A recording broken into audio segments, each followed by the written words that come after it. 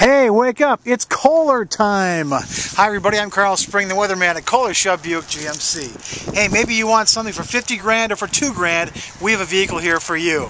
And you know, the snow's coming, of course. You might want a 4x4 as well, or a truck.